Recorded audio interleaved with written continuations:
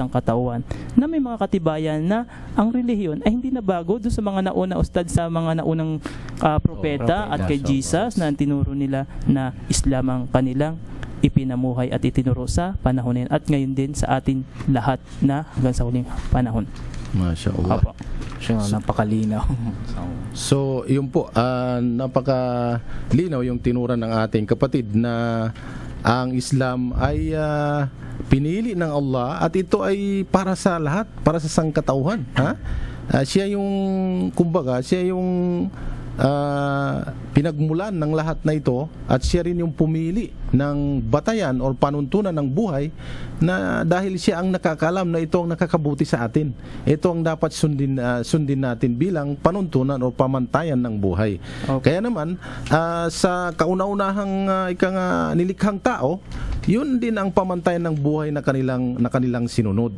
Katulad ng propeta Adam na alam na alam natin. Kaya masasabi rin natin na ang Islam ay hindi lamang ah, hindi lamang propeta ng sangkatauhan, bagkus propeta rin ito ng mga ah, propeta ng mga suwat na una, No. Yes. di ba?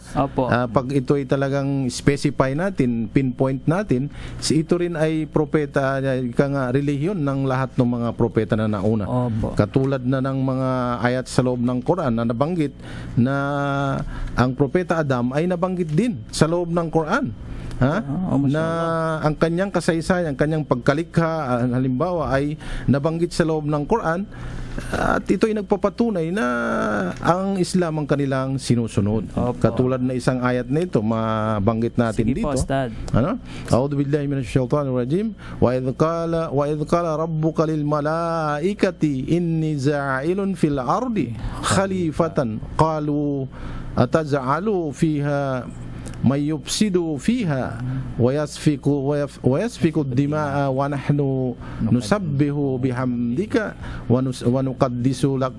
Qala inni a'lamu ma la taf- ma la ta'lamun. Opo. Oh, ang pinaka malapit na kahulugan noon na binanggit ito sa loob ng Quran ah, sa English ano? Opo.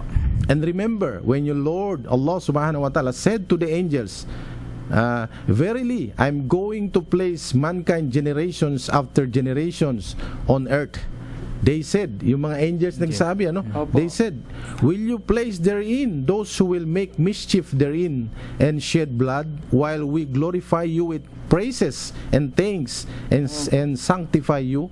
Allah said, I know that, that you which you do not know.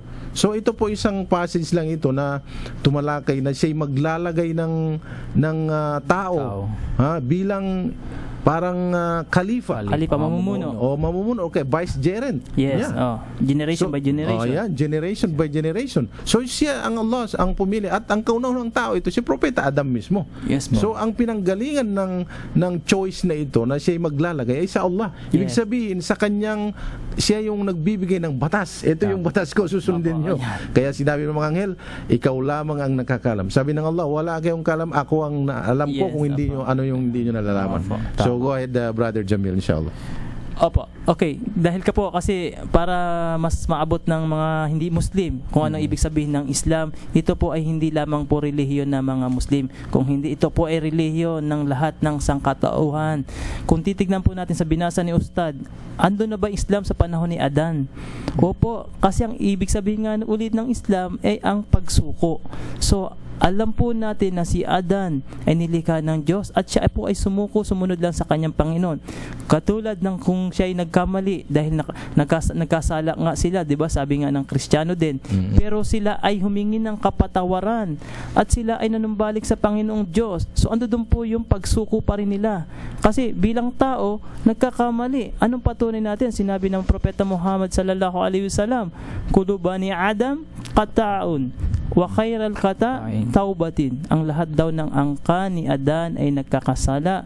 Ngunit ang pinakainam, so tingnan nyo, may the best pala mainam na nagkakasala. Ano po yun? Yung agad-agad humingi ng kapatawaran sa kanyang Panginoon at hindi niya nagagawin. So ang ibig sabihin kung ang, ang ating pang, ang ating unang ama ay nagkamali, so ando doon po na humingi siya ng kapatawaran. So yun po ang kahulugan ng Islam, sumusunod po siya. Huwag po natin kakalimutan yun. At kung sino man pong tao na naniniwala at sumunod at sumamba sa kanyang Panginoon, siya po ay napapalob sa batas ng Diyos at yun po ang Islam. At papaliwanag natin ng Islam, napakalawak po ito. Pero yung mga detalye po, abot lang po ninyo ng pag-iisip ng Islam ay dapat po yung abot po ninyo na naiintindihan natin sa ating panahon. Ah, kaugnay roon na Brother Jamil Yes, tungkol doon sa hindi ba ah, nagkasala si Adam at ng Opo. kanyang asawa. Opo. At yung pagkakasala na yon ay hiningaan nila ng kapatawaran mula sa Allah. Opo. At yung kanilang paghingi ng kapatawaran ay ah, tinanggap ito ng Allah at sila ay nakatanggap ng revelasyon Yes. kung paano humingi ng kapatawaran. At sinabi ito sa chapter 2 verse 37. Opo, mashallah. Babasahin natin ito. Magandang Uh, A'udhu billahi minash shaitanir rajim. Fatalaqqa Adamu mi- min rabbih kalimatin, ha? Uh, Fataba fataba alayhi innahu huwa tawwabur rahim. Then Adam received from his Lord uh, words of repentance. Opo. So yung yung yung pinadala ng Allah bilang revelasyon na kung paano sila humingi ng kapatawaran ay nagpapatunay na yung yung